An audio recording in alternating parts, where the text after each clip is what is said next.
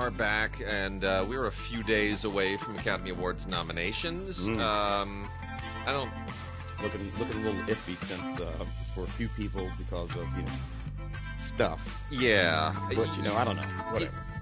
You know, I. I'm talking about James Franco. Yeah. The, the, the, the, thing on the bomb dropped on him at, in, in, in a very precarious moment before the the final uh, um, date Yeah. had come and gone. Yeah. You know, of course, a lot of people had already voted, but there was one or two days there where people could make a decision about what they felt about that James Franco situation. I don't think it'll affect it. But I don't know. Yeah, maybe not. You know, but think- then again, it's not like James Franco was going to win an Oscar for that role anyway. No. That's the weird thing, you Yeah. know. Uh, a nomination, not a nomination. I don't know, whatever. But he was never going to win an Oscar for that. what I'm what I'm curious about is to see, you know, there are films that are sort of indie hits and culty hits and which are sometimes popular hits but not critical hits or vice versa. There are always films that are a little bit on the bubble and Mm. you always, you know, there's usually um uh, there are always films that get nominated for director but not picture and vice versa and those, that's what i'm curious about i mean we know dunkirk's going to get a load of stuff and shape of water is going to get a load and three billboards will get a load you know it's so it's um you know i'm curious will get out get nominated for best picture Mm. guaranteed best screenplay Well, it, it, it's interesting that the Ladybirds, the Get Outs, That- the, the Lady is gonna be Iconias, interesting. The Florida Gr- projects, Will they are floating. They're they, they- floating. They, they, they don't live in the space. i would even go so far as to say florida project will probably may get nominated for nothing other than supporting actor Mm. You know i could see Will, that uh, uh, um, uh, it- Willem. for Willem Dafoe. Mm. Um, but you know, Lady Bird, good question. I think it guaranteed it's it's going to get nominated for picture, but will they give Greta Gerwig Best Director? Yeah, I, I, see that one the other way director around. directors nominate directors. Directors, yeah. Still an old boys club. Yeah, yeah. You know, are yeah. the are those old men going to look at that and go? And she's a first timer, and that's a hard thing to give up. Then yeah. again, on the other hand, Jordan Peele, tech, you know, first Yeah. timer. That's a that's a, it's a tough one for those you know, guys to give Get up. Get Out kind of has run the table on screenplay awards. Yeah. and it's made a including of LAFCA. That's what we including gave him. LAFCA. Yeah, yeah. You know, you gave it to Jordan Yeah. Peele, and and so I uh, the screenplay nomination there is is guaranteed. Uh, I think he's a long shot for director, but I think it stands at you know a, a field of ten. Mm. I think Best Picture is a good a good shot. Yeah, th- that that's the one good thing about that field of ten. Yeah, Uh, is that there's a big, gigantic, uh, you know, all kinds of little things can get in there, and but that's pretty much Well- all that happens. Does it, you got the nomination? Feel I- good. I, I've done some interesting research into the uh, the field of ten, and um, and I'll I'll I'll save that for like a future blog post or something. But it's very interesting because you know we've had a field of ten now for quite a few years, and they did it once before back in the 30s, Mm. right? And um, excuse me, uh, both times there is uh, there's an interesting dynamic that enters, which is that the film that tends to win the most awards is not the film that wins Best Picture. Mm. And that's a dynamic that very rarely happens, very rarely, but it happens constantly when you have 10 nominees, whether it's in the 30s or now. hmm And I'm not sure how to explain it, but it's interesting. Um, It might have something to do with the way that voting situation is, is sort of broken up and Might you know, be. with you know committee some committee you know maybe something Gravity, tons of awards, didn't win Best Picture. Got got the most awards. Uh, Mad Max got most awards, didn't win, Win Best, Best Picture. Picture, yeah. La La Land won the most awards, didn't win Best Picture. kind of Y- yeah, kind of. You know, so it's, so it's in, in all these cases, it's interesting is the films that's winning the most awards not winning Best Picture, and that's on, that's strictly a phenomenon of ten nominees. But what I find interesting about ten nominees, and I'm still not sure I'm totally sold on the idea, but is is that uh, we used to always wonder with the five nominees, ah, I wonder what the what the next five were. Well, Mhm. now we know. now we know yeah, Yeah. you know so yeah Yeah. yeah yeah, So. Uh, and and we know that they wouldn't have had a shot in hell winning it's true. yeah so you know it's, it's Yeah. it, it- but it is an interesting thing it, it makes the show more interesting and what it does do is that second five Yeah. everything everybody else that's involved in that second five uh, Yes. because that second five really doesn't have a shot at, at best picture No. But everybody else involved in that second five uh, it, it might pluck off something, might pick off something. Very true. Uh, and uh, you know, so you just never know what you'll see, and, and and it makes for a more interesting show, and it makes for you know more interesting uh, possibilities yeah. uh, to, to to take the stage up there. But you know, uh, we shall see, we shall see, man. Yeah. Well, uh, I've got a bunch of uh, Asian themed stuff to uh, to talk about right at the top. It's kind of accumulated, and it's worth uh, discussing. You know, Andy Lau. I Mm. love Andy Lau. I didn't used to love Andy Lau. Andy Lau back in the '80s, late '80s ish, um, was was this really good looking Hong Kong actor who just he was wooden. Mm. He was just a chunk of clay, and he, he's a good good face, and he'd give these, you know.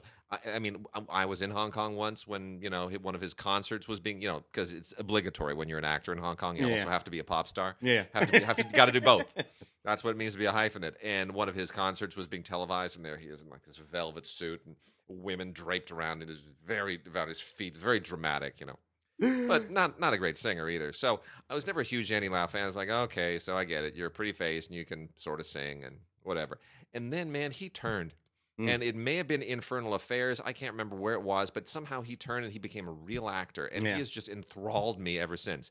And the crazy thing is, the guy just, he, he's got to be like 85 years old now. Yeah, I- I- He- and he look, no, he's, he's- I mean, he's, he's, he's 50s. 50 something. But he- for one thing, this is one of the things that happens. I've noticed. It happens it- it- you, you get older. For one thing, when the looks go away, Yeah. when the when you, Matthew McConaughey, Yeah. you know, and I, I know people. Oh man, no, look. Yeah, I, I remember Matthew McConaughey when he was actually good looking. Yeah. Okay, uh, so so so so he's a perfectly handsome man, but you, but but when you literally can't count on that anymore, you know, Brad Pitt. Yep. I rem- I know all these guys when all they had to do was walk into the room and and they're good to go, Yep. whether they could act or not, and some of them couldn't. Yep. Uh, but when that goes away, man, you better have some skills. Well, he's got them. Uh, we got three Andy Lau movies. Three freaking Andy Lau movies. Um, uh, Herman Yao, who directed uh, Ip Man, The Legend is Born, and a lot of other great movies, uh, directs Andy Lau in Shockwave, which is just, you know, great action. And Andy Lau, just that timeless face of his. Um, and it's it's he's it's basically uh, it's kind of like a SWAT movie, except it's not SWAT. It's the Explosive Ordnance Disposal Team, right? So it's like Hurt Locker meets SWAT Yeah. in a in a Hong Kong cop film. Yeah. That's basically what it is. And uh, you know he wears the suit, and they got the bombs, and everything is you know ticking. Uh, the hostage situation. It's just it's not a great concept for um. It, it's I shouldn't say great. It's not unique, Mm. but it's fun. And Yeah. Yao directs the hell out of it, and Andy's great, and you you really you're into it. So that's uh, that comes to us from Cinedigm. That is Shockwave on Blu-ray and DVD combo. We also have The Adventurers, which is really interesting. It's uh, Andy. Look at the cover here. It's basically the the the, the John Woo killer pose Oh, I love it. I love it. The but with yeah. the with the guns. But it's uh, it's Andy Lau and Jean Reno, and I thought, well, that's an that's an interesting pairing. And you know, it totally works. Jean Reno, he just brings the heavy like he always does. Uh, this is from Wellgo, and uh, it is uh, Andy Lau plays a. Uh, uh, a, a a legendary thief. Shu Qi plays his girlfriend, and uh, they're gonna they're planning this crazy crazy heist. And uh, Jean Reno is the uh, you know is the is the the the, the the the gutsy French cop who's chasing him around the world. It's actually it's actually really really fun. Uh, that's also a Blu-ray and DVD combo set. And then lastly is uh, Andy Lau and Donnie Yen. Uh, now Andy Lau only appears in this. It's just it's primarily a Donnie Yen movie. It's called Chasing the Dragon, and uh, Andy Lau makes just uh, a, an appearance, but they plaster him all over the packaging. And uh, Donnie Yen kind of kills this. Uh, it's the true story of Crippled Ho, Mm. who is a 1963 era uh, very famous Hong Kong drug uh, lord. And um, it, it's it's it's it's it's quite a story. Andy Lau plays cop. Only this time he's a dirty cop, so you get you know it, gets it's a little bit like the uh, like the French film Mesrine, which is a Mhm. great gangster saga. Scarface, there's a lot of Scarface here. Has a lot of you know Tony Montana feel, and uh, I am just thrilled at what a great actor Donnie Yen has become. You know, Donnie is the. It's funny he was the the second guy in a lot of those uh, those Jet Li movies Yeah. from that era. He was the other guy. You know, he occasionally got a starring role like Iron Monkey. Uh, but back in the in the '90s, the early '90s, you know, it was looking like, well, this is Jackie Chan and Jet Li are going to be the stars, and Donnie's just going to kind of fade away with the rest of these guys. And you know what? Jet doesn't make movies anymore. Jackie makes movies, but he's old. Yeah. And Donnie Yen is in his prime. Yeah. And it's crazy. And he's he's the same age. He- he- he's he's still lean. He's super lean. He never he never was as physical as Jet and Jackie. You know, Jackie falling Yeah. down, Jet, Yeah. you know, trying Yeah. to be, you know. Yeah. Donnie was contained. yeah. Uh, so he, you know, he didn't. So he didn't jack himself all up as much as they did. Well, you know- and he looks the same fighting now as he looked when he was fighting when he was twenty five. Absolutely, it's amazing. Great genes. Uh, I've interviewed Donnie a couple of times. Did a did a piece on him for the LA Times. Gosh, must have been like 18 years ago, 15 years ago. But he, um, you know, his mom is is one of the most legendary wushu instructors in history. I did not know. Well, Yeah. no, no, I Yeah. did not know that. I say I did not know so- this. Like it's surprising that I didn't know it. Donnie Donnie Yen kind of lives in the shadow of his mom in the world of wushu. Uh, as a movie star, everybody's like, "Oh, Donnie Yen," and then you you know you get into wushu, and they're like, "Oh, really? That's your mom? wow, love your mom. Can you get your mom's autograph for me?" Can your kinda mom funny. teach me how to throw a Yeah, punch? but he, he he learned from his mom. Pretty great, Ah, pretty love great. it, Love it. Love it. So those are the Andy Lau movies. Uh, here's what else we got. We got Wolf Warrior 2, which is like the most successful film in the history of China. Um, they they kind of finally figured out how to make these nationalistic propaganda films not bad. yeah. Uh, Wolf Warrior is just crazy, crazy, hyper patriotic, uh, Chinese nationalistic, just badass action. Directed by Wu Jing, who's one of their top action directors right now. It is, of course, a sequel to the 2015 uh, Wolf Warrior, which was a hit, but not as big as this one. Uh, this thing's just been packing them in all over China. Is it? Uh, is it really, really that good? Um, it's fine. It's not. You know, I mean, it's it's it's a, it's a little bit crazy. The action is really over the top. Uh, it's it's basically just people with guns shooting for about two hours straight. It's just nonstop guns and explosions. Is all it is. Um, but it's well done. It's very very well done, and uh, it's got Frank Grillo in it. You know, so you get a little. You got a got a guy who's something of a profile in Hollywood. Yeah. Uh, people might remember him from Captain America: Civil War. Um, anyway, so Wolf Warrior Two on uh, Blu-ray and DVD combo set from Well Go is you know perfectly fine. I, I, I again, you know, they're better Hollywood movies, but not as far as the Chinese are concerned. Uh, and then we also have God of War, which is uh, pretty impressive. Uh, Vincent Zhao, whose claim to fame is that he did, he also did a few things in the in the '90s, and he briefly replaced Jet Li in the Once Upon a Time in America series. Um, eh, Vincent Zhao stars in this. This is just kind of straight up uh, Chinese period film. Uh, takes place in the 16th century, and he's uh, you know Sammo Hung is uh, is is kind of this this Sammo. Sammo's this military. He did all the, the uh, action choreography here. Uh, Sammo is the uh, the this kind of big military leader. Vincent Zhao is his uh, kind of first in command, and they've got to you know go after these pirates. And um, it's uh, it, it's it, it the you know it's pretty thin in terms of story, but it's heavy on the action. Uh, and it, you know it's, it's based on a true story, directed by Gordon Chan, who's a you know a veteran. It's uh, you know it's it's in it's in that spot. It could be a little funnier. It could be a little more f- like enjoyable, but uh, it plays it pretty heavy, and that's okay.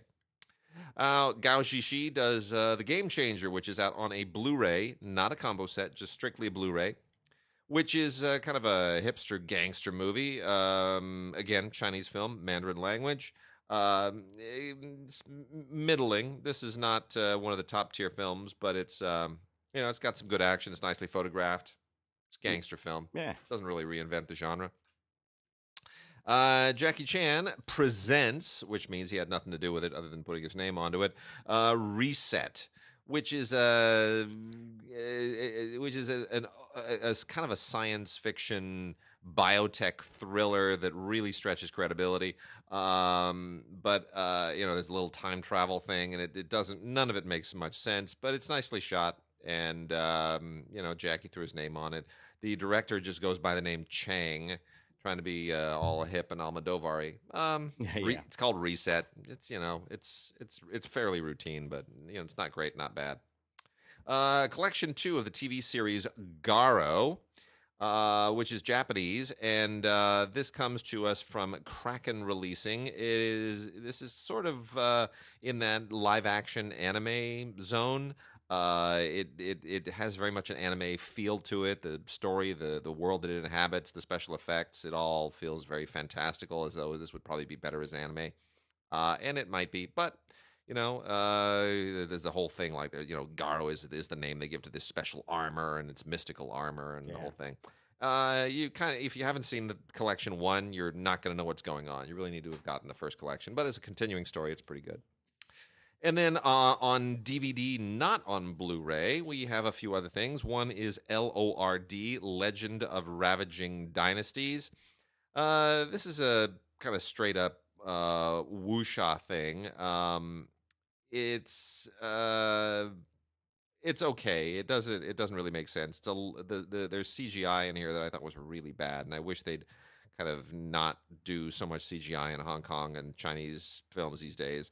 Um, but it's I don't, it, it, it, it it's I don't know. It the Yeah. action the action's fine. Special effects are poor. The plot is iffy. Uh, Tokyo Idols is funny. Uh, it probably doesn't. It shouldn't be funny, but this is a documentary about the um, the pop idol phenomenon in Japan, which is so unlike anything else in the world, and uh, it is it's just purely a, a, unique one of those things that just exists only in Japan. And the rest of the world just looks at them and just says, "What is going on on your island?" There are just certain aspects of Japanese culture that just don't travel, but the world is fascinated by them. And this is one of them. And the internet has made this even; it's just made it completely viral. Uh, so Yeah. anyway, uh, director is Kyoko Miyake, and uh, it gives you a really interesting insight into the this particular industry in Japan, and it is in fact an industry. It's quite interesting, and and uh, it's it's worth taking a look at. So Tokyo Idols, really fascinating look at a, a particular un, a uniquely Japanese phenomenon. And then we get to the last two, which are both really really terrific. Uh, this first one is a Thai film that was at uh, Toronto and Locarno and a bunch of festivals. Uh, it's a Thai film by, uh, well, it's called By the Time It Gets Dark. And the director is, oh, here I go with my Thai names again. you know, we, we just call him Joe, right? Joe, Uh, Joe. We're Wirasul uh, Achapitapong, Yeah. or however you pronounce it. We just call him Joe. He's Uncle Uncle Boonmee. Well, th- well, this isn't that director. This That's is this, no, this is a different director. okay, this right, is this is Anocha, but it's almost as bad. I just want to. It's like, why don't I just call you something else like yeah, Joe? Yeah. Anocha Suwicha Cornpong. S- Anocha Suwich Suwichakornpong. Yeah, well. I'm, I'm completely destroying that. Anyway, uh, this is the the second film from Switch Corn Pong, and uh, it is a wonderful uh, tapestry of uh, interlocking stories, all set against the backdrop of the 1976 um, massacre of student demonstrators i- in Bangkok, and uh, it's a beautiful recreation of the period. And it's uh, it's some, some really great acting here. It's a very very sharp script. Um, powerful, powerful movie, and uh, all a lot of stuff packed into just 105 minutes. It's really, really worth checking out. I'm sorry it's not on Blu-ray, uh, but it is called By the Time It Gets Dark, and uh, that is from KimStim, and it's really, really worth checking out. And then my favorite of the whole lot is uh, Soul on a String from Zhang Yang. This was also at Toronto, uh, and this is from Film Movement. I am a huge fan of Zhang Yang. I wish this was also on Blu-ray, but I, I guess there isn't necessarily the um, the uh, demand for it. Anyway, Zhang Yang, I've actually interviewed on a few occasions. Fascinating guy. Uh, kind of comes from the sixth generation, but he's not of the sixth generation. He's just from the same period as the sixth generation. Uh, has always been very, very independent and paved his own way. Really interesting uh, director and um, uh, fascinating guy to talk to. In any case, Soul on a String is uh, takes place in the uh, in in you know the Himalayas and Tibet and uh, deals with a a this kind of itinerant. Um, he's not a holy man. He's just a, he's kind of a, a mysterious wanderer. We can call him a mountain man. And uh, there's this kind of uh, I don't want to call it. I don't want to say this is like an Indiana Jones movie because it's not. But there is a mystical stone, and it has to be returned to this uh, this giant Buddha uh, somewhere in the mountain. Anyway, it is, uh, and it becomes this. It becomes both a literal journey and a spiritual journey, and it's really, uh, it's really mystical and it's really interesting. It's got a lot of provocative ideas in it, and um, a lot of symbolism that's not overly uh, overly heavy, uh, which is nice. And then you get a great short film on this as well. Uh, from Lebanon called The Rifle, the Jackal, the Wolf, and the Boy. So uh, this is really terrific. The Soul on a String just begs for a, a high def treatment, but nonetheless, it is uh, it is a really interesting film from director Zhang Yang and uh, highly recommended. So that is our collection of really cool Asian films this week. Outstanding, outstanding. Actually, some good stuff in there. Uh, for stuff. folks that started digging too, can I knock off a few of these? Yeah, uh, yeah, new jump- new new do it. releases. New releases. One of them being Mark Felt. Mark Felt, played by Liam Neeson in this film, with Diane Lane playing his wife. Mark Felt, of course, being uh, ultimately revealed after thirty plus years as Deep Throat. Kind of ruins all the President's Men. Now. yeah, you know. Do I watch all the President's Men now and just imagine Liam Neeson in the shadows? Is that what I'm supposed to do? uh, uh, 2005, I think he was 90. He was 90, he was over 90 years old. Mark Felt. Uh, when he revealed himself Yeah. uh, to have been uh, Deep Throat all those years ago. This movie was supposed to be among the movies that we were talking about this year uh, during awards season. Yeah. Peter Landesman uh, directed the film. Yeah. Yeah, he was a, a a journalist. I think New York Times, maybe Washington Post journalist who did this. You know, you know, I- this movie um, as a little bit of a history lesson. Fine, Yeah. you know, I I'm not sure that I really give a damn about what was going on in the in, in, in the bowels of Mark Felt's life. The fact that he was who he was.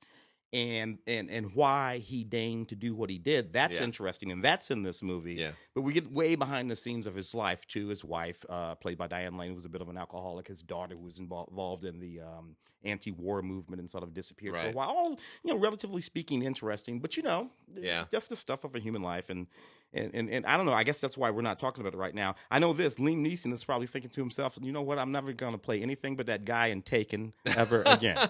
because every time I try to play something else, it, it you know it, it sort of tanks. Liam Neeson's an action film star. Yeah. Uh, he's an action. He's a he's an action star at an age when you're not supposed to become an action star. Yeah. Somehow that clocking, happened for him. clocking, if not over seventy. Yeah. Liam Neeson. Uh, this is okay. Extend, uh, uh, special features include some extended and deleted scenes in the commentary by the director, uh, Mark Felt. Um, Chris, Goodbye, Christopher Robin, which was another lovely little movie that I think we thought we might have been talking about Uh, around ye- about now. Well, because because these movies tend to make the Oscar round, Yeah. right? If you think about uh, Finding Neverland, right, the story of, of of Barry and Peter Pan, and of course we and we you know every every time somebody does a big British biopic about the life of an author, hmm we go, oh, that's gonna be a sure thing, like Iris, right? I mean, there, there's a ton of them.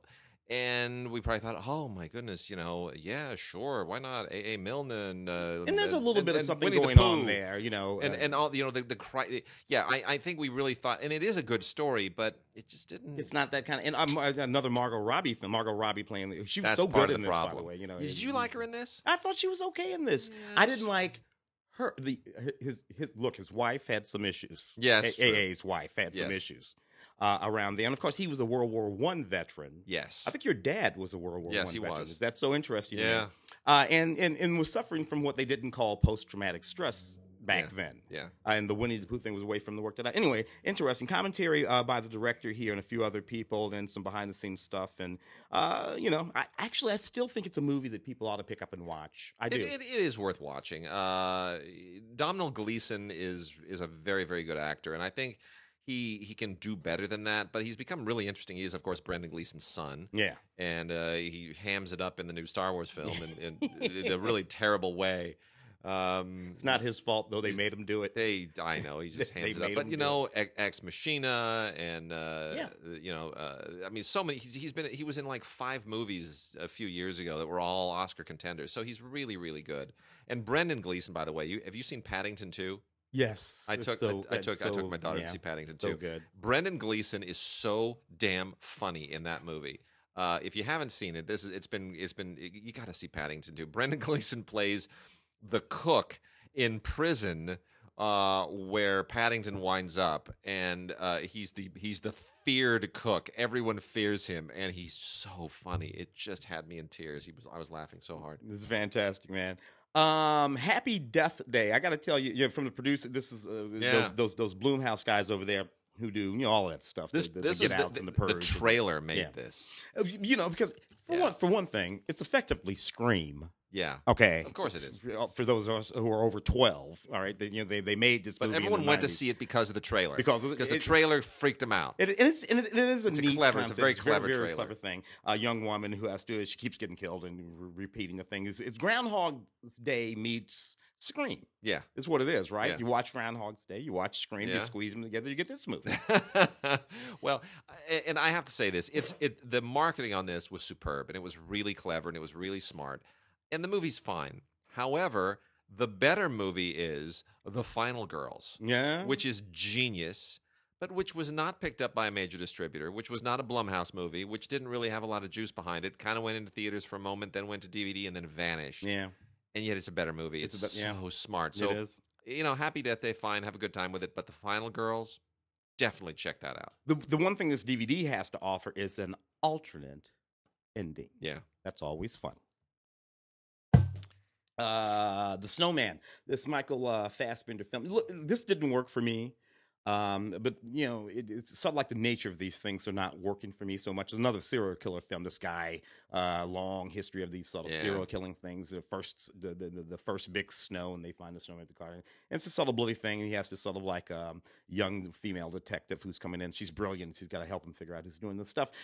I, I thought it would be better because the guy who directed it, Tomas Alfredson, um, directed "Let the Right One In." Yeah. that little vampire. Yeah. but- the but that version of the of the Yeah. And Should have been better. should have so it should have been better. Should have been better. Anyway, uh, a few bonus features uh, on this, but not. I thought there was a director's commentary, but no, there's not. All right. Anyway, whatever. The Snowman. Got a few DVDs here. Uh, kind of, I don't want to say throwaway films because they're not throwaway, but they they slide under the radar and they're worth making a mention of on a on a few important points. Um, one is a thriller called Jawbone, which Yeah. has which has Ian McShane and Ray Winstone in it, and that's enough for me. Ian McShane and Ray Winstone both just bring the heavy so beautifully. That's Uh, that boxing movie, right? Yeah, it's a boxing movie. It didn't really, you know, Lionsgate did not do anything with this here theatrically, and I'm a little bit surprised because I, I thought this this could have gotten some some theater juice, uh, but you got you got to work a little bit to promote it. Anyway, uh, Johnny Mc, Johnny Harris plays Jimmy McCabe, who's a you know a, a, a prize fighter who was you know great when he was younger, and now he's kind of trying to do the Rocky thing, and um, it, it's uh, it's it's got a lot to say. It's not anything that hasn't already been said in movies like Rocky and its ten thousand sequels. But um, Ian McShane and Ray Winstone are just great in it, and uh, more so than Johnny Harris, and that's what makes it worth checking out. So it's probably a good rental. Yeah. Uh, I, I, I, you know, the the so-called quote unquote faith-based um, genre is is making strides. I've been very They're, critical. get, of, they're get- they're getting better. they're getting better. You know, I've been because I'm- they figured something out. yeah. Uh, they figured out to be subtle. well, it's you know what Charles and I mentioned this on the radio. Charles was the one who really uh, kind of summed it up, which is drama is about asking questions, and faith-based movies tend to be about giving you answers. The answers, yes. So they're inherently not very dramatic. People go to them knowing and expecting that they will validate a particular point of view, which is sort of anti-dramatic. So what they're doing is they're starting to actually switch their stories up a little bit, and uh, this one is called Extraordinary. It's true story. Uh, Kirk Cameron is in it along with you know not a substantial part, but he's in it along with uh, Leland Klassen, Shari Rigby, Karen Abercrombie. These people will mean a little something to you if you've seen some of these movies in the past. Um, anyway, it's basically the true story of. Um, David Horton, uh, who's kind of a famous super marathoner. He was a college professor and a super marathoner, and uh, his marriage and how uh, you know he the the the strife that his running introduced into his marriage and some health problems, and then you know sort of how faith leads him to to want to make one last great race. Um, because he was an inspir- he was a runner, but it was inspirational to It lots of people, Yes, and and the fact the which reason, is all true, by the way. It's all true. Yeah. And the reason this works and transcends all of that sort of faith-based genre stuff is because it does get into you know issues in the marriage and the and the acting is good. So, uh, extraordinary, I'm going to say, you know, is a is another step forward for for this uh, woe-begotten genre. Uh, the last one here uh, just makes me want to cry. Um, it's called A Dog and Pony Show. And it, I know, I know. A Dog and Pony Show. Uh, this is one of those family comedies, and you you you know just from the the name of it. Um, it's really really silly. It it it's it means to be heartwarming. The thing that's heartbreaking about this is that it stars Mira Sorvino and Ralph Macchio. Um, come on, Tim, look at that picture. Yeah. I mean, it just that's Mira Sorvino. She's won an Academy Award, Yeah. and they put her name right in the middle. You know, she should- Academy she, she Award sh- winner. She should slap the crap out of a Harvey Weinstein That's just the, for that. that's where I was going to go Yeah. with this That's, uh, that's- because that's that's why. That's the problem of Harvey Weinstein right there. This is- that's what he did to Mira Sorvino. please, people, please, Mira Sorvino deserves Yeah, a better career. yeah. She got screwed by Harvey. Um, her dad rightfully threatened to kill Harvey recently, which yeah. I thought, good for you, good yeah. on you, Well, Dad. he's an old Italian. You don't want to mess with Paul Sorvino. Do not mess with Paul Ralph. Macchio, on the other hand, that's probably the right movie. Yeah, it's probably the right Ralph for sure. Look, Ralph had a good run. I mean, you know, I'm sorry. Why am I Yeah. messing with Ralph? He's never done anything. To Karate me. Kid and Crossroads, and that was kind of it. He- he- he- look, Ralph Macchio is like uh, 75 years old, and he still has the face of a 12 year old. I don't know how he does it. That's it. Anyway, uh, Ralph Macchio's fine. He, he, he's not going to hurt. But Mira Sorvino is an amazing actress, an incredible talent. She deserves better than this. So please, people, give her some good, give her some good jobs. Make make the evils of Harvey Weinstein right. Yeah. Please fix that problem. Shouldn't be doing a dog correct all of that show. foolishness. Um, uh, inspired by true events. It always worries me Yeah. when that's above the top. Anyway, thank you for your service. Uh, from from the from the the the the well, it says from the writer of American Sniper. What it means, Yeah. of course, is from the writer of the screenplay, the Yes, correct, not the book. Yeah, because that guy's dead. Um, um, in any case, this is this is you know a well-intentioned film about um, uh, soldiers coming back from Iran trying to reintegrate into their families, reintegrate into society, et cetera, et cetera. Um, you know, it's it's it's it's a it's a, it's a moving movie. Uh, uh, it's a funny thing. You and I are, of course, old enough to have been of a, a certain age when all of the Vietnam movies and post-Vietnam movies were happening, Yeah. right? So those movies started in so a few of them actually uh, came at tracks and whatnot while Yeah. the war was still going on. But those movies sort of started started in earnest about 1978. Uh, Deer Hunter, uh, uh, Coming Home.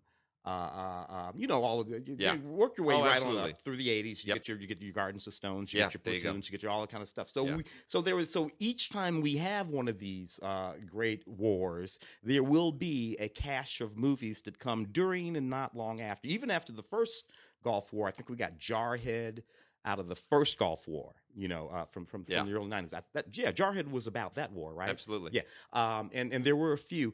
I don't know, man. Th- th- This time around, these movies, I don't know. They they're not all of those movies that I'm talking about from before were movies that resonated deeply in my life. Uh, you know, Deer Hunter is a movie that I I was go, I was going off to. I think it was Deer Hunter. What's Deer Hunter about 70, 78, 79? Deer Hunter 78. 78. So Yeah. so the very next year I went off to the Air Force, to the military. And that movie was a movie that we were all thinking about and talking about and engaged in. And then, of course, all of those movies. That's, it's not happening this time.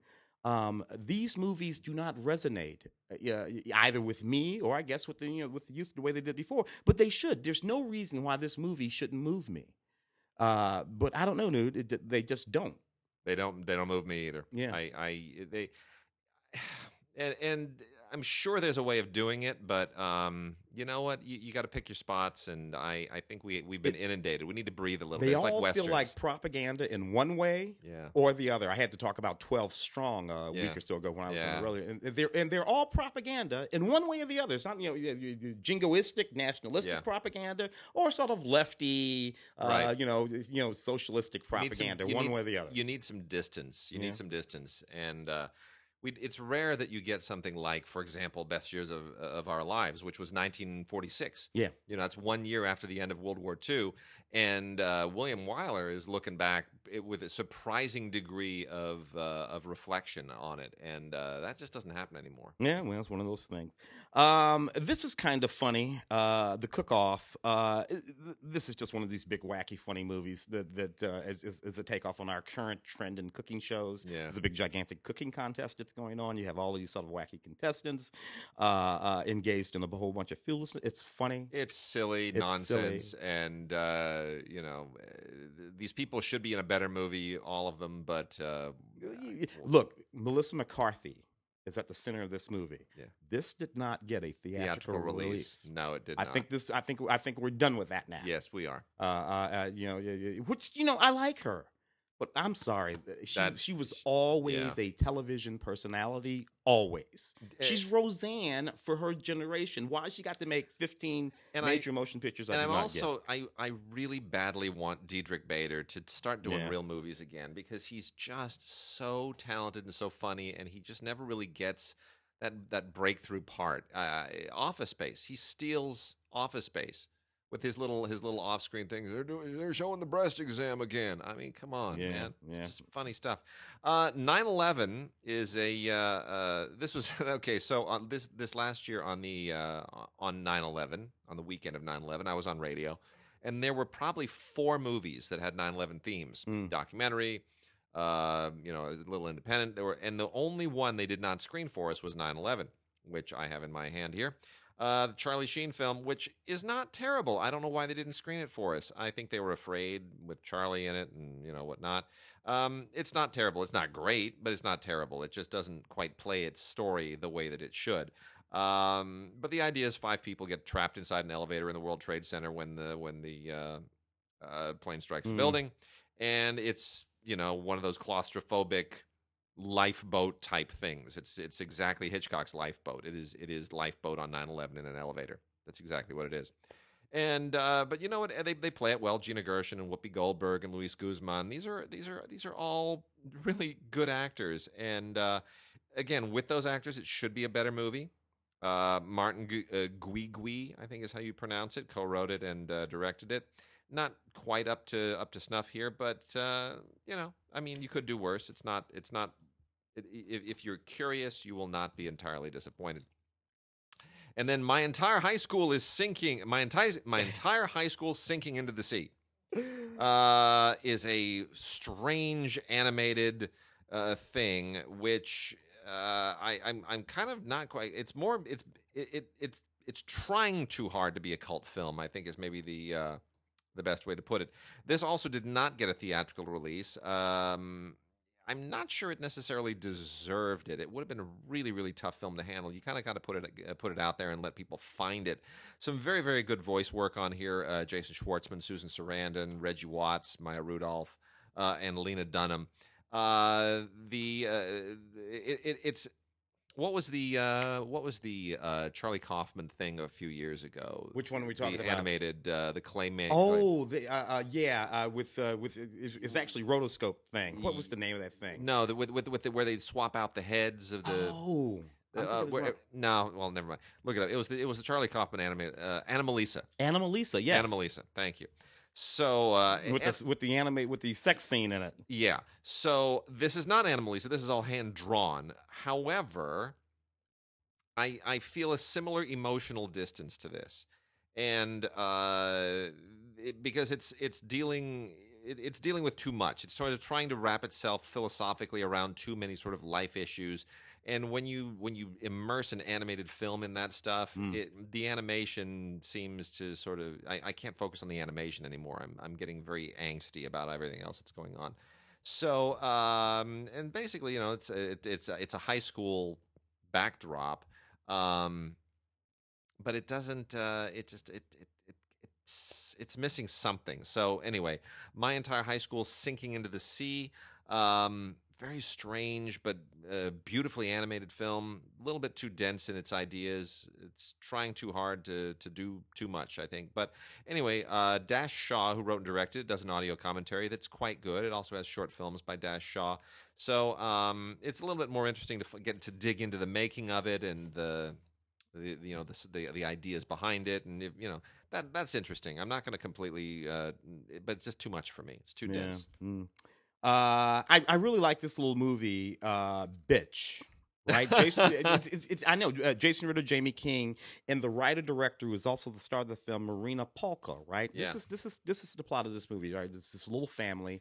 Marianna Palka is playing the mother, and she has these kids. They're completely unruly. She's married to Jason Ritter. He's this guy who's fairly fairly inept, but trying to do the right thing. And he's really good in this movie. He's funny, but it's all kind of tragic. There's this dog that's barking, and what happens is the mom has this psychic break where she deeply and truly believes becomes a vicious rabid dog and and and and and, and she and she is and it's it's really really interesting and there's a lot of sort of deep psychological commentary going on in this movie yet it's still funny as heck uh, so I like it a lot for that reason alone. So you know, this is one of those neat little uh, indies that if you're just not paying attention, you you, you would miss. Uh, but nowadays, you can pick up wa- watch it on a stra- in a streaming situation or something like that. It's a really neat little movie. I got two over here, which I like to put together because it looks like they're facing off. All those covers, yeah. Isn't that great? 68 Kill, yeah, yeah. All right. So I'm gonna. I'm going to explain what what uh, what Tim's laughing at. So 68 Kill is Blu-ray and DVD combo set, and uh, it's got uh, AnnaLynne McCord holding a shotgun, pointing to the right, and then I've got Bad Day for the Cut with um, I forget which actor this is, uh, but he's holding Chris, double. that's uh, what's the other guy? That, that Niall, whatever his name Yeah. is, Niall O'Neill or something. like He's that. he's holding a shotgun, pointing the other Susan direction. Lynch is in that film. So if you put these two together, it looks like they're holding shotguns on each other. I It's always, fantastic. It's, I always enjoy getting getting you know covers that that uh, that match that way. Um, anyway, 68 kill is uh, is is just a it's a you know a, a, a vengeful woman uh, shoot 'em up cult film. It's designed to be a throwback to all that um, all that kind of uh, Well, look, feminist th- late 60s early 70s i spit on your graves kind of stuff um you know yeah it's it's it's not much at all uh it, but it's it's got a lot of fun action and it's culty and it's it's tongue in cheek and it's having fun with it written and directed by Trent Haaga What people will do for sixty-eight thousand dollars. Yeah i mean it's Listen to me, I'm talking crap. Like like like I wouldn't kill three or four people for sixty-eight thousand dollars. Yeah. And then Bad Day for the Cut was uh, was a film that that got a little bit of attention at Sundance last year. I like that movie. D- Why did it not catch fire? Ah, you you most It- actually mo- Sundance is uh, you know uh, It's going on right now. Uh, Yeah. uh, and uh, and I was listening to some numbers about it. it. The numbers for Sundance are getting really bad, dude. I know they are. The, the you know, in term by the numbers, I mean uh, the number of films that a get picked up at all. Yeah. B of the ones that get picked up that get any kind of significant distribution. Now we're down Yeah. to about five or six films, And the amount B, of money they make. the amount of money they make Yeah. juxtaposed to how much money people they've been Yeah. overspending at Sundance. I'm sorry I went off on a crazy ass tangent, but they've been overspending at Sundance. I didn't think I'd ever say that, but they have. True. Yeah. It's very true. Well, anyway, it's a thriller, super violent, super bloody, uh, and it's a you know it's got a guy his, his mother's murdered, and he goes out for vengeance to track down you know the the killers in in, in Belfast, Ireland. Um, and uh, it, it it gets into that whole existential journey thing uh, that you know you're you're out for vengeance, but what are you really out for? Well, it's a journey of self discovery, and there's some pretty dark Irish humor in this as well. But um, yeah, I just I wish this had um, I wish this had kind of caught on a little bit, but it, it didn't. It's So a really anyway. good performance. I liked it a lot. Yeah, so that's Bad Day for the Cut. So you know, Bad Day for the Cut, good film to discover. 68 kill. It's uh, it's trashy and, and fun and doesn't make a lot of sense, but it's nice to pass the time. In the same world of 68 Kill, I've got MFA, and this, this is clever what they're doing here MFA, Masters of Fine Arts, because the uh, Francesca Eastwood, uh, one of Clint Eastwood's uh, younger daughters, is Yes. the lead in this. Uh, and uh, with I think Francis, uh, the, the redhead here. I, I, anyway, whatever. Oh yeah, yeah, yeah, yeah. Um, um, so uh, MFA, also the title of this film, Mastering the Art of Revenge. So it's about this young art student that Eastwood is playing, uh, who is raped. Uh, and she manages to find and slaughter fa- fairly viciously her rapist. Uh, and in the process of doing that, creating some fairly interesting sort of Jackson uh, uh, uh, Pollocky sort of uh, art. you know, you, if you think if you think about that there, uh, and it becomes fairly uh, famous from that, and realizes that uh, she can just keep killing dudes and making nice paintings. There we go. Uh, and it, so you know, it's one of again, you know, I spit on your grave, all Sure. that kind of stuff. What is cool about it is Francesca. Uh, Frances- Francesca Eastwood here is really kicking some ass. I've been watching her for a couple of years. Cliff, uh, uh, um, uh, what's his name? Cliff, uh, Clifton, uh, Cla- Curtis- Clavin, Cliff uh, Clavin on Cheers. that's that's it. Say, uh, is also in this film. So it's a neat little movie, neat little revenge film, in in in a time when you know movies like this are probably apropos. You know, uh, Killing of a Sacred Deer from Yorgos Lanthimos, the director of The Lobster. Yeah. Reunify, He reunites with uh, Colin Farrell and uh, and Nicole Kidman's in this as well. Uh, this didn't really catch fire like The Lobster did. We, we The Lobster got a lot of attention, even though I think it's overrated. This whole people turning into animals thing was just weird. I like that one. Didn't like this one. you know, um, yeah. What, what? And I've I've been one of those people who was down on Lanthimos kind of from the beginning. I, I think he's just really pretentious and a little bit overrated, and he he tries too hard to just be weird for, for weird's sake. And um, I kind of still feel the same way. Uh, I, I like Colin Farrell in this. I like that he's you know stretching and he's trying to play you know more character parts and diminish his looks and buries himself in that beard and the whole thing. Um, but it still it still feels just too weird. Uh, you know, he and Nicole Kidman are a couple, and they've got a couple of kids, twelve year old and fourteen year old. He's a heart surgeon, uh, and uh, then there's this the, this character played by uh, Barry uh, Keoghan. Is that how you pronounce his name? Yeah. Kean. Uh, this character played by Barry T- Barry Kean, uh, who is um, who who insinuates himself into the family, and uh, the story deals with what the, the aftermath of that. I won't get into giving anything away, but there's a there's there's stuff that happens, and it takes you to typically weird and dark place. Um, I don't. Uh, why does this film not work? I don't. You know, it, for one thing, after having seen the lobster, which I admit I did, Yeah. I did enjoy and think that there was something uh, interesting going on in in that film thematically. yeah, Uh, that's all revealed in this film. I'm, I, you know, you know what I mean. This, Yeah. I'm, I'm like, now I'm on to you. Uh, um, um, uh, See, that's what it Yorgos. I'm on to you now. yeah. And once I'm on to you, I'm on to you. You got to do a different thing. Uh, and uh, but you know, you're just you know, you have just so no, that doesn't that one doesn't work for me. he for some re- for some reason there I, I feel like there's a generation of directors who who misunderstood what Bergman and all those guys in the 60s were doing. Mm. They thought that they were that they were making and this is maybe the best way to put this. All those directors in the 60s that just kind of exploded at that time and everybody from Kurosawa to Bergman to Antonioni to you know the new wave directors to to Buñuel these guys were not going out there saying I am going to tell people how to live. I'm going to tell them what's wrong with their lives. They were wrestling with their own lives Yeah. and their own issues. And these movies are very very personal. And I feel like Lanthimos and a lot of his generation don't get that. Mm. They they sort of are consumed. They're, they're a little preoccupied with their own ideas, and they think I've got all the answers. And and it's that answer question thing again, right? Mhm. Like with faith based films. If you're a director and you think you have all the answers, and that's why you're making a movie is to tell me the answers, I don't want to see that movie. Yeah. No, no, no. But if you are asking questions and you're making your movie to wrestle with these questions and you're just asking questions and the movie is part of your process, I can become part of that and I can connect to that.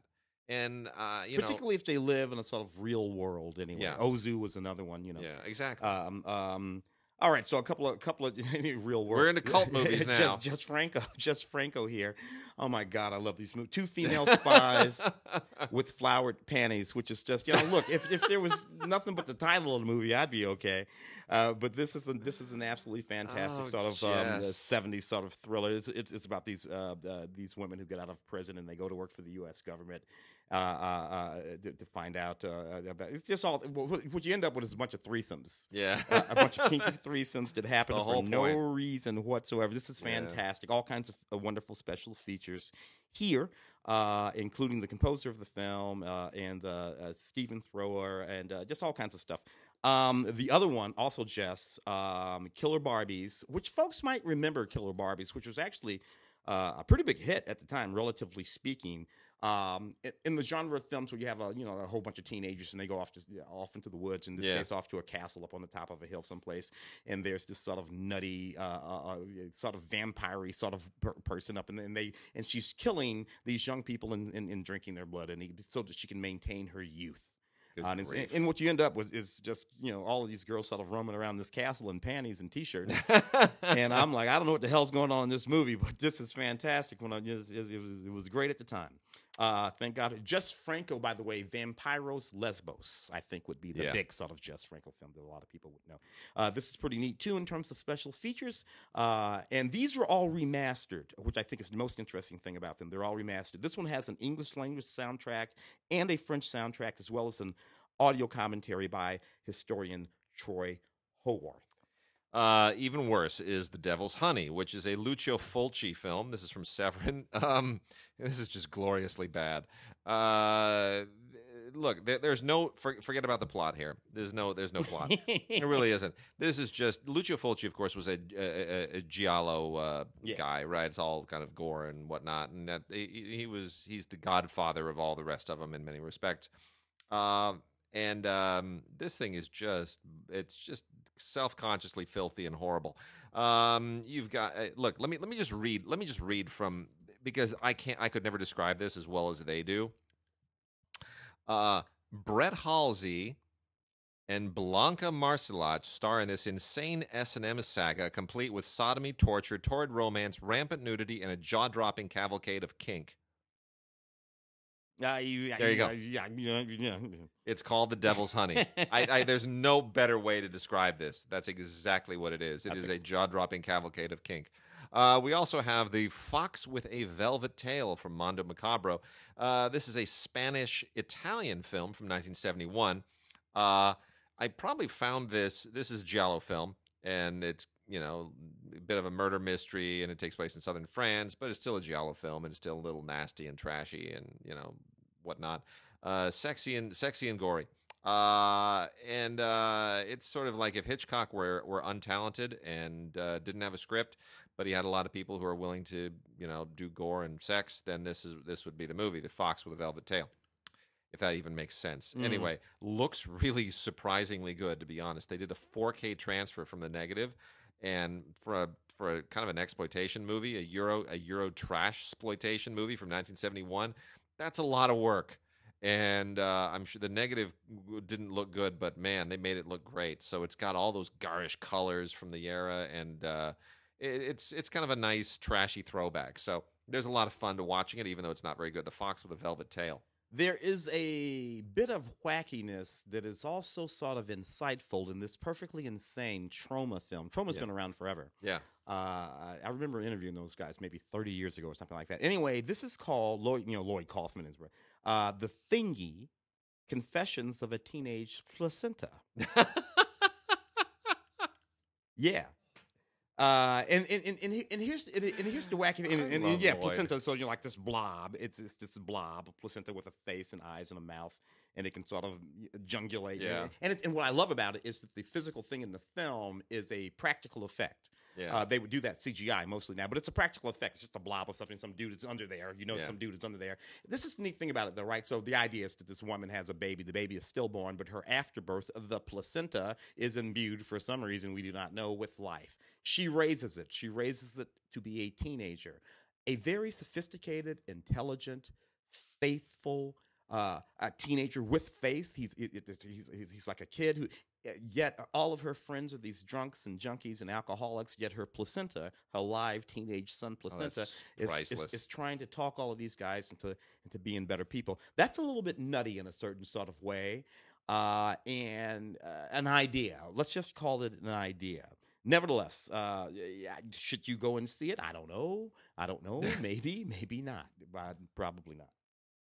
So uh, here's one that's a little bit more recent. This is a Marco Ferreri film called The Flesh from 1991. That's relatively recent. Now, Marco Ferreri is a legit director. I mean, he's a legit uh, Italian director who's made some very, very fine films.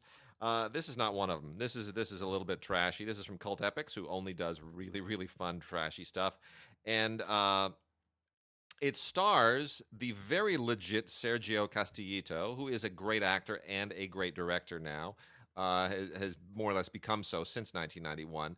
Um, and it also stars uh, a, an actress uh, whose name you probably know more infamously, Francesca Dellera, who previously made a lot of Tinto Brass movies like uh, Capriccio, and you know, who's kind of a, a softcore queen.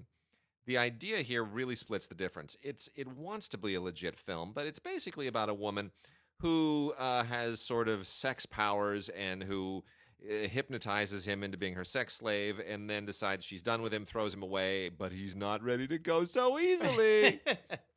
uh, so anyway, this is a Blu-ray DVD combo set.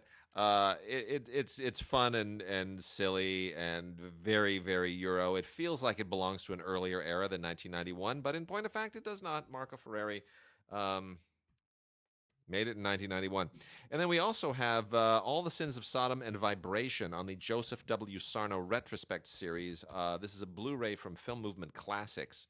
Uh, it you know this splits the difference between cult and and art, uh, which is what Sarno did. Um, Joseph Sarno is a really really interesting figure, and uh, you know primarily known as Joe Sarno. Yeah. He's interviewed here, and uh, then there's a a uh, which is quite interesting, and there's a commentary as well by um, uh, film historian and Peggy Stephan Sarno. Um, the I used to love all those movies from back in him, Henry Paris. yeah, uh, they, they're uh, all late '60s, Yeah. and they. What's interesting is, and we could probably put, um, we could probably put uh, Ron uh, Russ Meyer in there too. Russ Meyer, yeah. Russ Meyer would go in there as well. At least his early stuff, not the later stuff, like you know, uh, but but things like Mudhoney, Yeah. definitely belong to this kind of class where people are making what are essentially sexploitation films uh, but yet they're making them with a sort of an artistic intent and with artistic technique Yeah. and it elevates them and it makes them relevant in a really weird artifactual way all these Sometimes decades when later the actors were pretty good, you would get some. Inter- Henry Paris, also known as Radley Metzger. Yeah. Uh, Which, which one was the stage name? Uh, uh, Uh, Par- yeah, Paris was the stage was stage name. But yeah. sometimes when the actors, when the acting was good, and then of course you know you'd have all the sort of kinky sexual dynamics going on, but Yeah. they could be interesting. Uh, so anyway, all the sins of Sodom and uh, vibrations. Vibrations is particularly interesting. You know, it uh, it gets into fe- female repression, and uh, obviously the sub the vibrations is not just you know in the Beach Boys good vibration sense, but there's actually you know a vibrator that has a very uh, substantial role to play in the story. Uh, so anyway, Sarno is a really interesting figure, and I, I, I applaud Film Movement for releasing his stuff on Blu-ray as part of the Film Movement Classics. So we are going to p- continue to get Joseph Sarno releases. Uh, this is only the first in the in the Joseph W. Sarno retrospect series. So more will come. Film Movement has plenty to uh, plenty to release on the uh, on the Sarno line. Mm, interesting uh, stuff there. Uh, Want to pop over to the little yeah, TV? TV. uh, SWAT, the the 1975 SWAT, the complete series. People forget that Robert Urich, you know, Steve Forrest was the lead of the SWAT team, but people forget Yep. that Robert Urich was in this series before Dan Tanner, before Vegas, and all that kind of stuff. Uh, you got Robert Urich here, and I just think that it was really neat. This was one of the early ones that I really liked a lot. I love this Yeah, series. It was set series. here. It was set here in L.A. Yeah. Uh, so back in back in the middle '70s, how did this play for you guys? For you actual LA guys? You know, uh, it was. Uh, I was really into a lot of these shows at the time. This was kind of not my favorite one. Uh, it it was like a better version of Adam Twelve. I was going to say and, you had your one emergency Adam 12s and you had your emergencies. Yeah. because every episode was kind of another crisis, Yeah. right? It's like okay, uh, like the thing with Adam Twelve is every episode they're going on regular calls. Every episode of Emergency was an emergency. Every episode of SWAT was SWAT team's got to go do it. You know, got- we got a hostage situation. We got whatever it is. Um, as opposed to something like The Rookies, Yeah. right, where the intimate lives of these characters were very different week in and week out, and and it was much more about the characters and not some Not always about situation. the crime moment. Not always about the crime moment. Yeah. It- it- the SWAT, and, and, and of course, right now, well, there was that movie in, in the middle 2000s. Yeah, the Colin Farrell. Sam Jackson, Colin Farrell. Yeah. We just talked about him. Yeah. And right now, they're, uh, they're, this is on television again. Yeah. This is a, a, series again. There it so, is. so these uh, 40 years hence. Yeah. And it's come back around. Yeah. Man, intellectual properties are a hell of a thing. they are. they are. They never stop paying. No. Anyway, this is neat. This is the complete series. Some great old faces in here, uh, including the team, uh, the SWAT team. But the really great old faces are all the people who pop up in every episode of these things. Who you're going to be like Ed Asner. Yep. you're going to oh all these all of these folks. I have so much fun with that kind of stuff in in these series. Uh, and we have the complete second season of Rowan and Martin's Laugh In uh, which is something that has just never stopped fascinating me. I watch these all the time. They actually air on broadcast television. Uh, probably all over the country, but certainly here in LA on one Yep. of those little channels there. And again, you have this sort of really interesting time capsule of that period. This is the second season, so we're still we're still in the 60s. We're still in the uh, late, the middle to late 60s. Yep.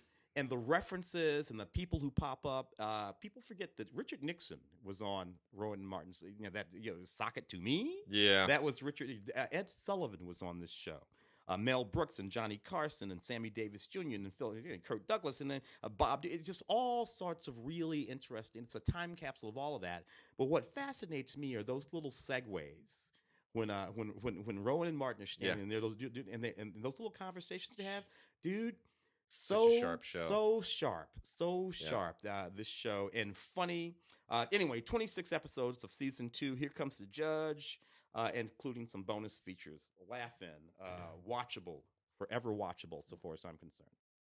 A Town Called Panic, The Collection. A Town Called Panic is a uh, a stop motion, a very weird kind of a stop motion. It started as a movie in 2009 uh, and was screened at Cannes, and uh, it it's uh, it became a um, a series. And it's a weird stop motiony kind of uh, what's the, what's the uh, the Seth Green show that I always forget the title of the stop motion thing on TV that he does. Uh, oh, uh, uh, uh, uh, oh, I do know the thing that you're Yeah. talking about. Oh, yeah, for Christ's that, sake, that stop motion yeah. thing. Anyway, uh, everybody knows what I'm talking about. Uh, so, uh, robot, uh, what's it? Uh, robot monkey, monkey Robot ro- chicken, chicken? robot chicken. Robot thank you. chicken, That's, that's it. is, yeah. Robot monkey. I'm getting senile. So, uh, robot chicken. Yeah, it's it's it's a little bit like that, except French style, uh, with an Indian and a cowboy. And all and all the rest of their very strange, deranged Toy Story type uh, uh, acolytes. Um, you know, there. What's cute on here is Christmas Panic. That's actually a very, very cute story. But um, eh, the the rest of the thing is a little bit uneven. I guess you have to have a really tweaked sense of humor to sort of get into this. It's uh, it is again like Robot Chicken meets Toy Story with a little bit of a French spin. But um, it's out on Blu-ray from uh, Shout Factory, courtesy of GKIDS, who does all the animation stuff. A Town Called Panic, the collection, 20 episodes, including Christmas Panic and Back to School Panic. And then we also have uh, Teen Titans, the complete first season.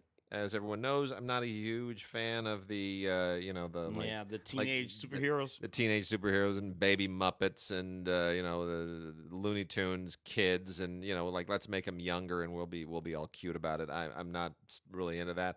Uh, I'd rather see them as adults, fully powerful. Anyway, 13 episodes of Teen Titans, complete first season on Blu-ray. Uh, it, it is it is I guess modestly satisfying if you're uh, if you're enjoying the whole DC thing, but uh, I, I I I'm a little bit over it. Yeah. Um, the complete second season of Victoria, which I'm thoroughly enjoying. For one thing, I have a crush on Jenna Coleman. right. That notwithstanding, because I'm a Doctor Who guy. I love The Crown. yeah. But as a compliment to the crown, Yes. considering that this is Queen Elizabeth's great grandmother, Grandmother. Yeah. it's important. Yes, yes. These things go together in a very Big, particular uh, sort of way. And what I like about both of the series, despite the fact that they're Yeah. set when they're set, is that they are they they are so connected Yeah. to contemporary society. So it's like you watch these series and, and it's like a through line. You Yes. can look back through these series and understand exactly what the hell is going on today. Yeah. I, I watched these series and I know why Brexit happened. If you watch these two Oh, series, oh, totally. these two series explain why Brexit Of was course. inevitable. Brexit was inevitable if you watch these two Yeah. series. It's, it has to do with that. Anyway, this is pretty good. A lot of bonus features on here too, including over 25 minutes of bonus video. Uh, S'more Entertainment, who used to release a lot of stuff but doesn't do a whole lot anymore, uh, has uh, comes out with some interesting stuff every once in a while. They still have some some goods in their in their library or in their locker, and one of them is this uh, television production of Camelot. Uh, with Richard Harris, who of course was in the movie Camelot, but um, this is uh, this is the Lerner and Loewe Camelot, and uh, part of the, what was staged as HBO theater for videotape in 1980 and uh, so you you get a little bit different take. Uh, you know richard harris played in the in the movie it was 60 what is it 68 Oh yeah. something like that it's late 60s so uh, camelot the movie is you know uh, more than a decade decade and a half prior to this so he's he's changed it up a little bit, and um, it's not the same as the movie. In some respects, it's better, but still, it's it's you know Lerner and Loewe's Camelot done for television for as an early HBO production in the very early days of HBO in 1980. And uh, I, I I thought it was I, I think it's really great. The songs are still terrific, and the cast is interesting. Meg Bussert, Richard Muenz. Uh, I, I I just don't think you can go wrong with Camelot. really one of the all-time Yeah. great musicals. Yeah, 67. I just, just 67, there it is. right there. Yeah. Ray Donovan, are you a Ray Donovan guy? I just never, Gosh, I the never first- could. The first season uh, was interesting and it was promising Yeah. and i thought this is going to go into some interesting places and then the second season just seemed to kind of stall out a little bit It became obvious, uh, you know, Ray Donovan, this guy Yeah. goes around, you know, fixer for the Hollywood, but you know, his family and all that kind of stuff. But I, but it i don't feel like they've they've yeah. taken it further right it it, it it it brought it to a certain place in that first season and there there are some high stakes and then it's just sort of more it, it becomes like a like a grittier rockford files Yeah. without the jokes exactly, except that the, the Jim Rockford Yeah. was a good guy. yeah exactly You know, Ray is a dubious guy in Yes, the he first is. place. You know, and and and, and that's what i I- mean without the jokes Yeah, it's not, I, he's not yeah, funny I have a hard time hanging my hat on him as my hero. yeah Uh, it's you know, but Jim Rockford, you know, he'll take it in the in the But you can make yeah. me interested. You can make me interested in him, invested in him, if you take him further, if you push him into moral dilemmas, if you force him into situations which they're not forcing him into. I, I kind of want them to, and they still have a chance to do it. I bet it's been Yeah. on for five years. Yeah, this is well, this is season they're five. obviously not gonna not gonna take any further chances with it. a few a few special features. It's an interesting thing. If you're into it, you want to want to pick it up. But that's Yeah, uh, just sure. depends. There you go. Yeah. Uh, we got a few from uh, Acorn, and I'll uh, we're losing, we're quick at the end of the show, so let me let me pound through these uh, fairly quickly. Uh, Doc Martin, Series Eight, still a great show. This is on Blu-ray from Acorn TV. Doc Martin has been a great show from day one. Series uh, one, two, three, four, five, six, seven, eight. If you've seen any of them, they're fantastic. They're all great. Uh, Martin Clunes is just a terrific actor. Should be in features, but you know, his bread and butter is British television, and good for him. He's he's just he's he's killed it. So Doc Martin uh, on Blu-ray, uh, se- series eight, uh, Midsomer Murders, uh, John Barnaby's First Cases box set, which is uh, quite good. Uh, Midsomer Murders is just one of the all-time great mystery shows on on British television, and this has uh, about twelve mysteries on it, fifteen actually. Let's see, one, two, three, four, five. And then 10, 11, 12, 13, 14. 14 mysteries. Uh, it'll take you forever to watch them. This is the, you know like tw- 20 some 21 hours worth of mysteries. It, it'll go on forever. So you can you, you know, and they're all good. They're all great. So uh, a lot of great guest stars too. Then we also have Rake. Um, which stars the uh, absolutely terrific Richard Roxburgh. This is a, this all takes place in the court system in Australia. This is absolutely terrific. Uh, Richard Roxburgh, great actor, keeps getting better. Uh, and uh, then lastly, we have one that I had not seen before, which is Acceptable Risk, which is an Acorn TV original. And Acceptable Risk uh, stars Elaine Cassidy, who is who was previously in The Paradise. A little bit Erin Brockovich here, uh, Irish character, uh, takes place uh, primarily in Montreal. Um, really quite interesting, kind of international thriller intrigue thing. It's called Acceptable Risk and um, see it just for the great performance by Elaine Cassidy. She's absolutely terrific. Yeah. Uh, I'll, I'll knock this one off really, really Yep. quick. The the complete the complete series, Girlfriends. When this series first aired back in 2000, first of all, it blows me away that this series first aired back in 2000. Crazy, it makes me right? dizzy. Uh, Tracy Ross Ellis, who of course we know from uh, Blackish now. This is a series about these four young black women uh, living lo- the lives that they were living, uh, y- y- having a fabulous time, dating and doing this and doing that, and it's just this wonderful thing, which we hadn't seen on television before. No. You know, a lot of people forget about that. That Yeah. was a that was a big ass deal. It was. sexy and smart and funny and all of that. The thing that I love about the series, which was created by Mara Brock Akil, is that the executive producer, Kelsey Grammer. Yeah. Kelsey Grammer. yeah. They came to Kelsey Grammer and said, "Hey, Kelsey, we got this series about these four black chicks. They're funny." Kelsey's like, "Oh hell yeah, let's do that." Anyway, it was a it's a wonderful series that made a big difference in the lives of a lot of young black women Yeah. over the course of that period. A lot of young black women grew up watching this series, reshaping what it meant to be in the same way that uh, what was the one, Sex in the City? Sure. In the, the Sure. exact same, the same way that Sex in the City did. You know, Kelsey Girlfriend. Grammer, I'll say this right before we close out the show. Kelsey Grammer is a real pay it forward kind of guy. Yeah. Because he paid so many dues for so long, really fought so hard, took so much abuse for so long before he finally cracked through. He knows what it takes. And when people, uh, you know, came to him saying, you know, help me realize my dreams, he was ready to do it. Here's my Kelsey Grammer story. Uh, uh, people, people do not open car doors for strangers. Kelsey Grammer does. I love it. Uh, we were we were out in the middle of nowhere. I'm assuming you know his offices are probably somewhere there, and uh, picking up food at Chipotle. Came came out of Chipotle, and Kelsey Grammer. They he and some guy had just parked right next to us, and he literally opened the door for my wife, the passenger side door for my wife. I thought that is such an unbelievably class act. Normally, a star would be like, "Oh, here, sunglasses, put down the hat down, don't see me." I I just thought that's amazing. This is a real class act. So I have a lot of I have a lot of love and respect for Kelsey. Grammer. Gentlemen on the scholar. Anyway, that's All right, it that's me. it. Done for the show. We'll see you guys next week.